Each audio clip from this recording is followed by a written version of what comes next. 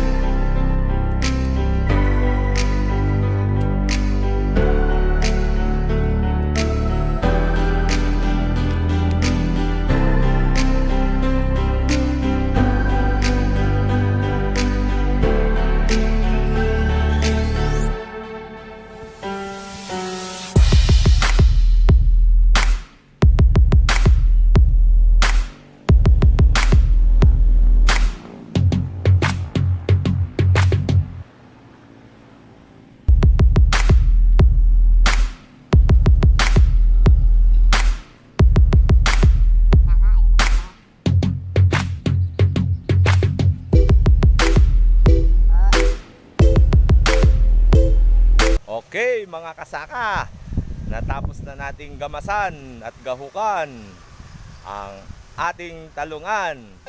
Kung kayo po ay merong mga katanungan, itanong nyo lang po sa aking mag-comment lang po kayo sa YouTube channel o kaya po ay sa ating Facebook account. At kung kaya ko pong sagutin, ay sasagutin natin. Mga kasaka, ugalin natin magtanim kahit kapiraso lang yung ating lupa upang pagdating ng araw, panahon, meron tayong makuhang gulay mula sa ating bakuran. Muli mga kasaka, God bless sa inyo lahat. Ingat po tayo lahat.